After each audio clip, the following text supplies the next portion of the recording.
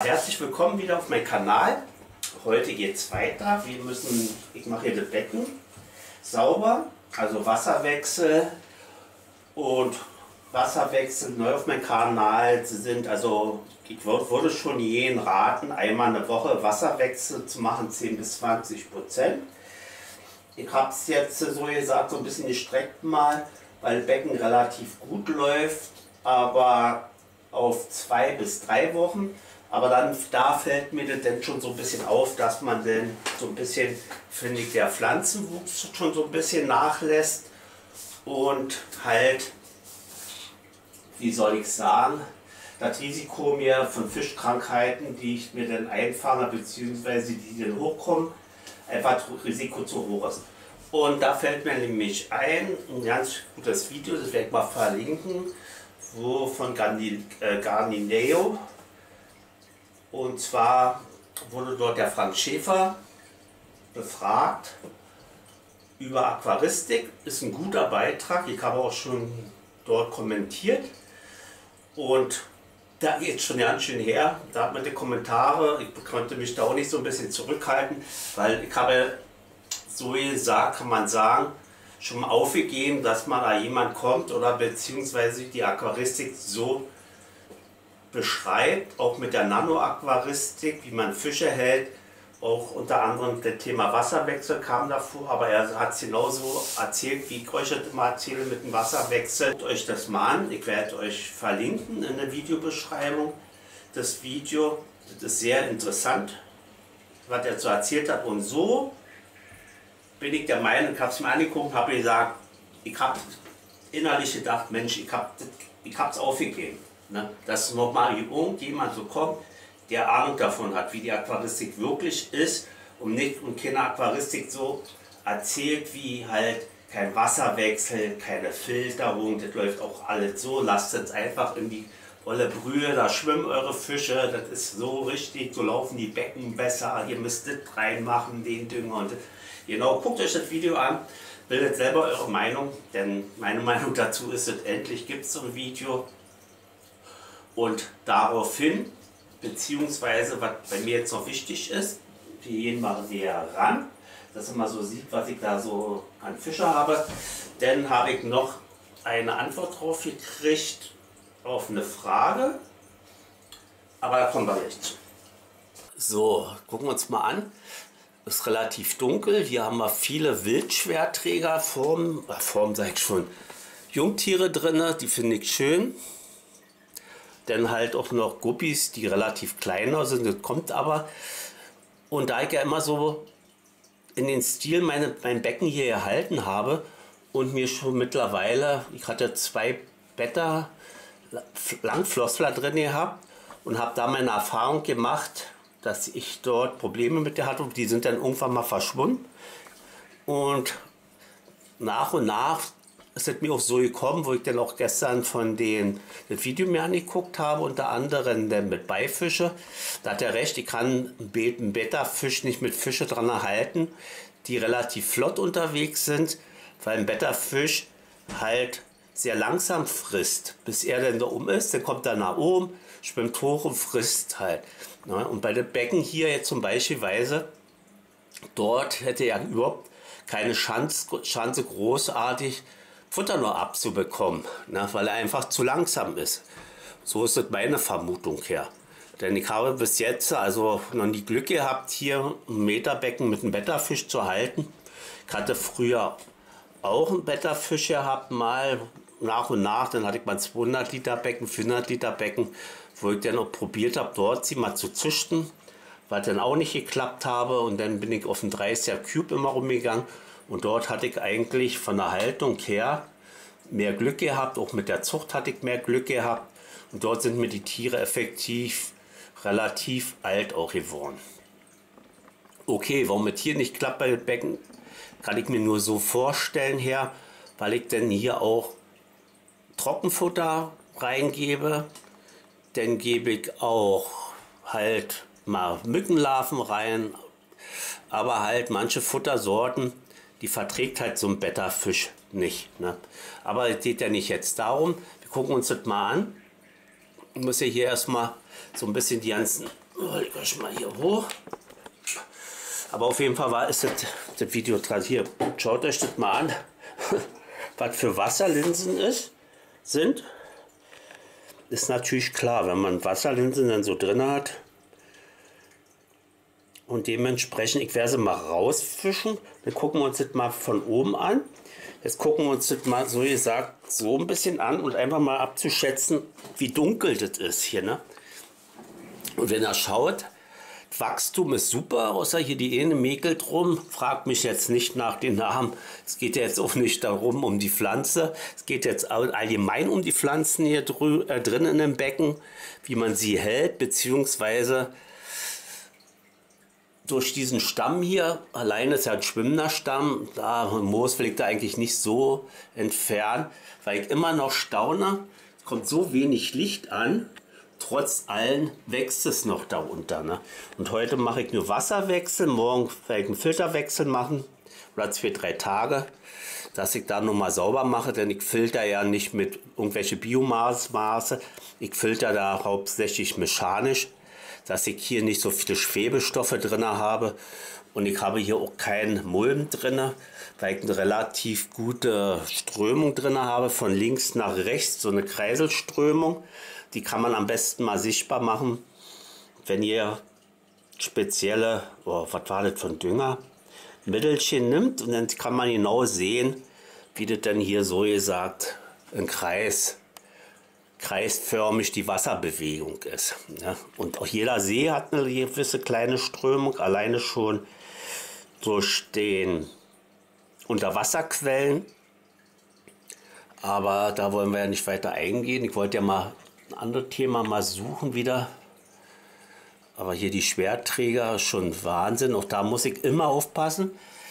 Da sind die Guppies, die anderen Guppies, die sind ein bisschen schneller bei beim Fressen, muss ich sagen, als die Wildform Schwerträger. Die habe ich ja draußen noch welche. Ich habe sie schon lange, aber nicht mehr gesehen da in dem Bottich drinne. Aber wir werden, ich werde das mal rausmachen um, und dann filme ich es mal, um euch so ein bisschen zu zeigen, wie hell es jetzt denn wird. Ne? Und dann werden wir beobachten, oder ich beobachte ja dann noch hauptsächlich euch dann mal zu zeigen, ob wir da irgendwo im Pflanzenwuchs eine Veränderung haben. Aber hier haben wir auch die ganzen Garnelen drin, Wildform hauptsächlich, die ich dann hier immer aussortiere, reintue so was ich dann einfach ausselektiere. Starten wir mal mit dem Wasserwechsel. Eigentlich das ja jeder, der einen Wasserwechsel regelmäßig macht. Einfach eigentlich ist es ja diese Sonntagsarbeit. Gut, mein Handy da runtergerutscht. Ist es eigentlich eine Sonntagsarbeit immer gewesen. Man hat jetzt heute mal auf dem Montag. Alleine fußballbedingt schon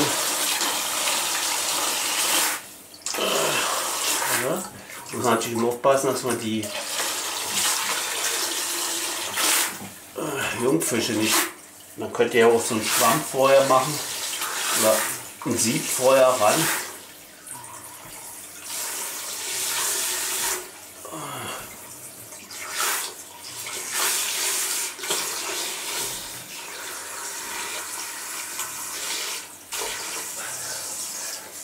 Mega Wasserlinse man da so rausholt.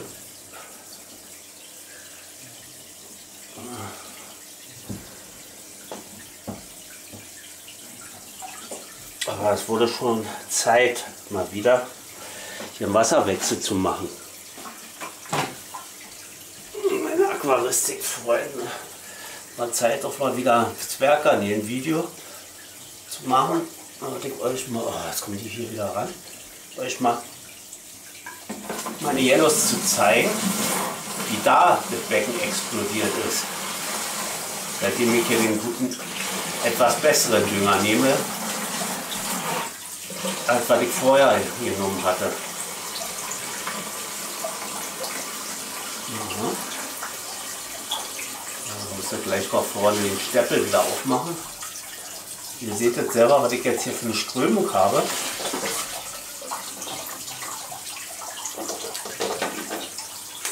Mache ich mal eins. Zeig euch mal gleich. So, zeig euch mal, ich mache das immer, habe ja extra mir so einen Hahn hier rangebaut. Hier eine schöne Strömung. Das mache ich den Hahn auf. Und jetzt muss ich irgendwas zum Rohr nehmen, zum Piekseln. Ich hoffe, dass der so griffbereit ist. Eine kleine Piekser hier, den ich mal nehme. Wo haben wir ihn denn? Mal so einen kleinen Schraubenzieher, der erstmal durchzuspülen. Weil sich die ja doch relativ mal so zusetzen. Zack. Und so habe ich hier so eine gewisse Strömung immer im Becken drin. Ich bin immer der Meinung, Fische brauchen ein bisschen Strömung, auch alleine für die Muskulatur. Dass sie mal irgendwo gegenströmen können, äh, ström, gegenschwimmen können. So, guckt mal an, jetzt haben wir, machen wir eben Vorbild, ist schon wieder einer weg, so ein Nockbilder. Mann. Und dann habe ich hier etwas leichte Strömung. Ne? Ist jetzt nicht unbedingt viel, aber immerhin so ein bisschen besser als ja nicht. Wie man so mal so sagt, ja nicht. Ne? Mal hier. Können wir auch einen Bohrer nehmen. Also etliche Sachen. Muss auch mal wieder den Schlauch durchspülen. Das kommt dann höchstwahrscheinlich morgen ran. Wir wollen aber mal gucken. Scheiben ist klar, machen wir auch, müssen wir auch sauber machen. So. Jetzt lassen wir das mal laufen. Und jetzt geht es weiter. Ich muss mal ganz kurz mal die Scheiben sauber machen. Da habe ich welche sogenannten Eimst. Oh, Mann. Aber ich brauche hier nicht viel machen. Weil habe kaum Belege dran, trotz allem, wo ja die Sonne am Tag aufscheint.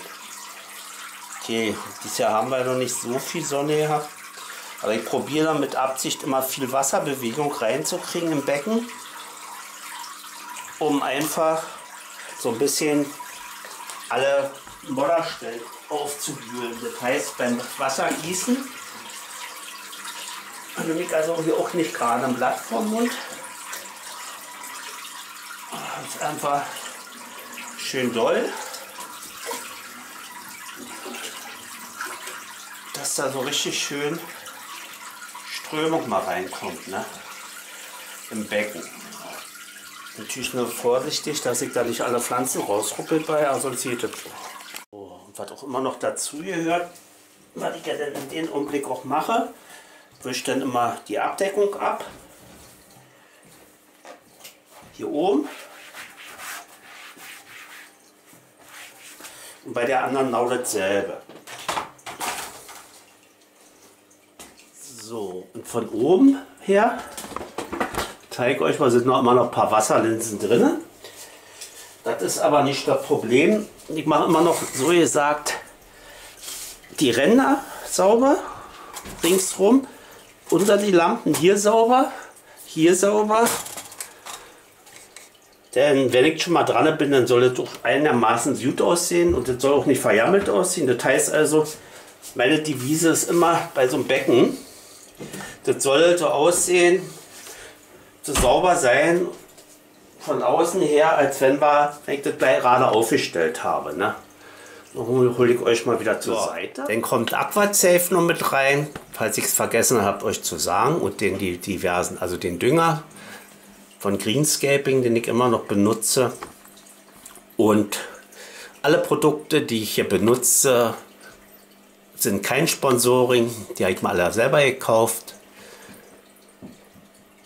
Und wenn vorne, Anfang von meinem Video immer kommt, bezahlte Werbung, das mache ich aus Sicherheitsgründen, mache ich das immer ran, weil ich ja nicht weiß, wie 100% die Gesetzgebung da ist und halt als Sicherheit mache ich das einfach, weil ich ja von der Werbung her ein paar Cent einmal äh, bekomme, die YouTube ja mir gibt. Ist ja monanisiert worden, mein Kanal. Unter anderem heißt es ja auch, dass ich dann dafür Steuern abgeben muss beim Finanzamt, beziehungsweise ich muss auch Ende des Jahres eine Steuererklärung abgeben. Wenn man sowas hat, beziehungsweise dass man über Google oder YouTube halt Geld bekommt dafür, da muss halt alles so seine Richtigkeit haben beim Finanzamt. Und das habe ich alle ganz im Gegenteil, lieber ein bisschen vorsichtiger. Und deswegen kommt bei mir immer vorne an, immer bezahlte Werbung. Ne? Um da einfach so ein bisschen sicher zu sein und die Produkte, die ich hier vorstelle, benutze ich halt, wie ihr ja seht, immer selber. Ihr seht ja auch meine Becken, wie ich sie pflege und halte hier. Was ja so wichtig ist, bin ich auch der Meinung, wenn ich einen YouTube-Kanal habe über Aquaristik habe und da sehe ich dann von den Ninen ein Aquarium, das ist dann schon so ein bisschen immer in dem Punkt Unglaubwürdigkeit. Ne? Ja, werde ich mich mal mit dem Video schön verabschieden jetzt so. Wurde hier Zeit, denn letzter Wasserwechsel war, glaube ich, drei Wochen jetzt her gewesen. Und noch Wasserwechsel kann man immer so gesagt als sportliche Aktivität sehen. Ich mache ja immer die Gießkanne voll und dementsprechend habe ich dann auch gleich Training für meine Arme mit drin, um fit zu bleiben, Muskulatur aufzubauen. Also es kann effektiv nicht schaden. Wenn man Wasserwechsel macht für euch, ist es nicht schlecht und für die Fische auch. Dadurch verbrennt ihr auch ein paar Kalorien durch die Aquaristik also erfüllt der, der Wasserwechsel oder der Hobby Aquaristik zweierlei. Das heißt, ihr bleibt fit, weil er immer eine Bewegung bleibt durch euer Wasserwechsel einmal eine Woche. Und zweitens habt ihr noch einen Spaß dran zu beobachten, wie die Fische sich wohlfühlen. Dran. Und dann werde ich mich mal mit diesem Video jetzt hier verabschieden von euch wünsche euch noch einen schönen Tag. Wir sehen uns nächstes Mal beim nächsten Video bei mir auf meinem Kanal. Hat euch das Video gefallen? Vergesst ein Like nach oben und ein Abo nicht, wenn ihr nicht schon längst getan habt. Ciao.